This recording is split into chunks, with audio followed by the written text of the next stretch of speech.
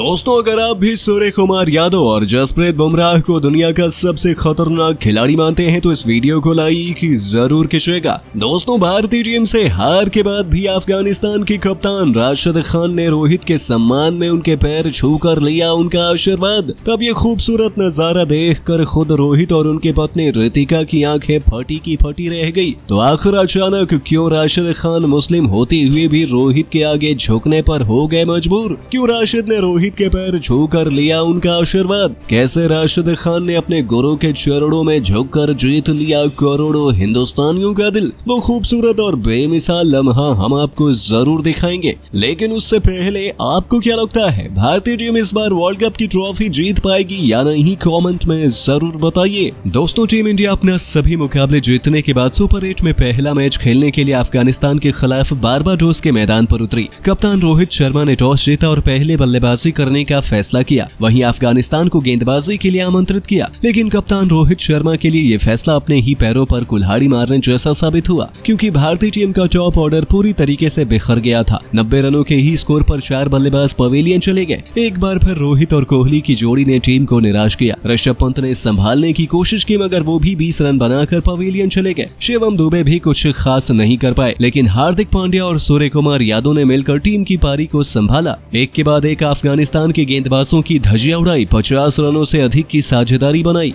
वहीं सूर्या केवल पचास रन 28 गेंदों में ठोक दिए। वहीं हार्दिक पांड्या ने भी 32 रन बनाए थे और टीम को 20 ओवर में एक सौ इक्यासी रनों तक पहुंचाकर अफ़गानिस्तान के सामने पहाड़ जैसा लक्ष्य खड़ा कर दिया। इस लक्ष्य का पीछा करने उतरी अफ़गानिस्तान की टीम जसप्रीत बुमराह और अक्षर पटेल के साथ साथ कुलदीप यादव के आगे घुटने टेक बैठे। केवल पचहत्तर रनों के स्कोर पर पाँच बल्लेबाज पवेलियन चले गए। देखते ही देखते टीम इंडिया ने बड़े ही आसानी से इस मुकाबले को भी अपने नाम कर लिया और सुपर हिट में पहली जीत दर्ज कर पॉइंट्स टेबल में पहले पायदान पर पहुँच गई। टीम इंडिया के ऐतिहासिक जीत देखकर पूरा स्टेडियम खुशी से झूमता, हर तरफ़ खिलाड़ियों की तारीफें होने लगी। आपको बता दें, जब सभी खिलाड़ी एक दूसरे से हाथ मिलाकर मैच खत्म होने के बाद ड्रेसिंग रूम की तरफ़ बढ़ रहे थे, उस दरमियान एक ऐसा वाक्य हुआ जिसने करोड़ों क्रिकेट प्रेमियों का दिल जीत लिया। जी हाँ भारत के मैच जीतने से ज़्यादा चर्चा उस लम्हे का हो रहा है। आपको बता दें, जब सभी खिलाड़ी ड्रेसिंग रूम की तरफ़ बढ़ रहे थे, उसी दरमियान अफ़गानिस्तान टीम के कप्तान राशिद खान खान रोहित शर्मा को देखकर उनके पास गए और जाते ही उन्होंने उनका पैर छू लिया। ये नज़ारा देखकर खुद रोहित शर्मा की भी आँखें फटी की फटी रह गई थी। इतना ही नहीं, वही स्टेडियम में बैठे दर्शक के साथ साथ रितिका भी पूरी तरीके से हैरान हो चुकी थी। कुछ समझ नहीं आ रहा था कि अचानक राशिद खान ने क्यों रोहित शर्मा के पैर छू लिए।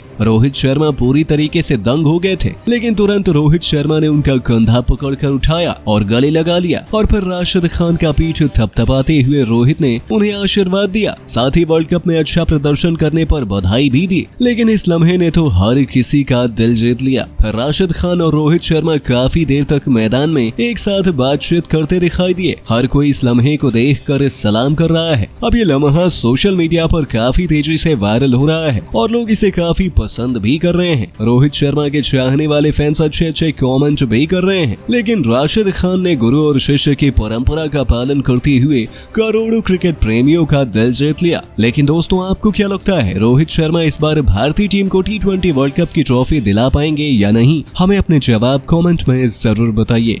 दोस्तों, जैसा कि आप तो जानते ही हैं कि टी ट्वेंटी वर्ल्ड कप अब अपने सुपर एट के चरम सीमा पर पहुँच चुका है। यहाँ पर भारतीय टीम अपने ग्रुप में पहला मुकाबला अफ़गानिस्तान के खिलाफ बारबाडोस के मैदान पर खेलने के लिए उतरी। कप्तान रोहित शर्मा ने टॉस जीतकर पहले बल्लेबाजी करने का फैसला किया और वहीं अफ़गानिस्तान के खिलाड़ियों को गेंदबाजी करने के लिए आमंत्रित किया। भारत की तरफ़ से ओपनिंग की शुरुआत करने मैदान पर एक बार फिर रोहित शर्मा के साथ विराट की जोड़ी उतरी।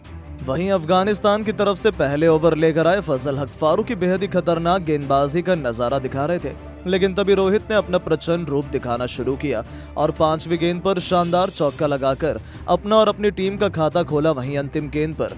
रोहित ने सिंगल लेकर भारतीय टीम को पहले ओवर में पाँच रनों तक पहुँचा दिया। टीम की शुरुआत शानदार हो चुकी थी। वहीं अफ़गानिस्तान की तरफ़ से दूसरा ओवर लेकर आए विकेट की तलाश में मोहम्मद नबी शानदार गेंदबाजी कर रहे थे। भारतीय टीम का स्कोर दो ओवर में केवल आठ रनों तक बन पाया। अफ़गानिस्तान की तरफ़ से तीसरा ओवर लेकर आए एक बार फिर फजल हक फारूकी। खतरनाक गेंदबाजी का नज़ारा दिखा रहे थे। और फजल हक फारूकी ने अपने ओवर की पांचवी गेंद पर अपना शिकार, कप्तान रोहित को बना लिया और राशिद खान के हाथों कैच पकड़वाकर अपनी टीम को पहली सफलता दिला दी। भारतीय टीम को 11 रनों के स्कोर पर पहला झटका लग गया।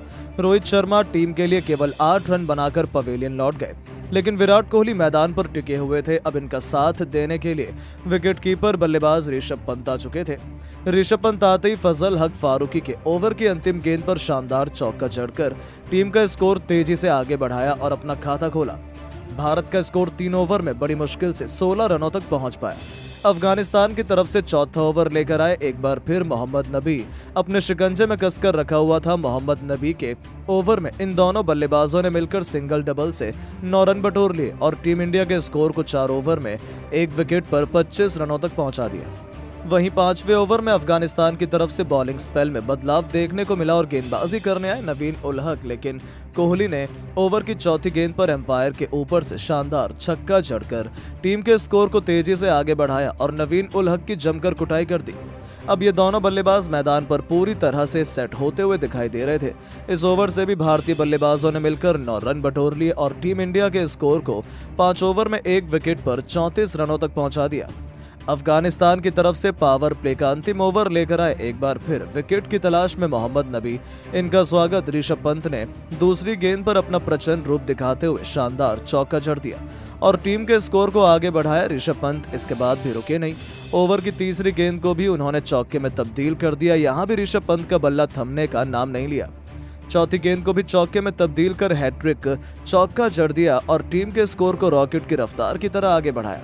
और भारतीय टीम के स्कोर को पावर प्ले के छह ओवर में ही इन दोनों बल्लेबाजों ने मिलकर सैंतालीस रनों तक विकेट पर एक पहुँचा दिया। वहीं अफ़गानिस्तान की तरफ़ से पावर प्ले के बाद सातवां ओवर लेकर आए राशिद खान। दोनों बल्लेबाज इनके ओवर में संभल कर सिंगल, डबल लेकर खेल रहे थे। चौथी गेंद पर कोहली ने सिंगल लेकर भारतीय टीम के स्कोर को 50 रनों के पार पहुँचाया और दोनों खिलाड़ियों ने मिलकर 50 रनों की साझेदारी भी बनाई। वहीं राशिद खान के ओवर की पांचवी गेंद पर ऋषभ पंत ने शानदार चौका लगाकर टीम के स्कोर को तेज़ी से आगे बढ़ाया। लेकिन इस चौके का बदला राशिद खान ने अपने ओवर की अंतिम गेंद पर ले लिया और ऋषभ पंत को एलबीडब्ल्यू आउट कर पवेलियन भेज दिया। भारतीय टीम को चौवन रनों के स्कोर पर दूसरा झटका लग गया। ऋषभ पंत टीम के लिए 11 गेंद पर 20 रन बनाकर पवेलियन लौट गए।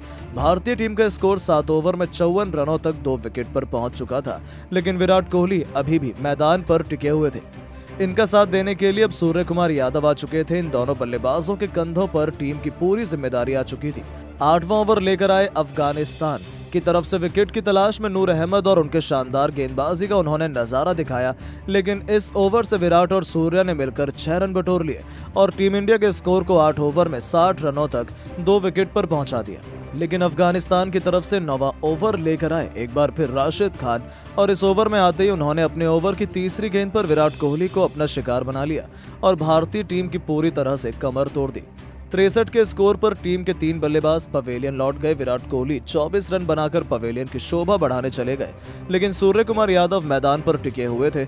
इनका साथ देने के लिए शिवम दुबे आ चुके थे। इन दोनों खिलाड़ियों के कंधों पर टीम की पूरी ज़िम्मेदारी आ चुकी थी।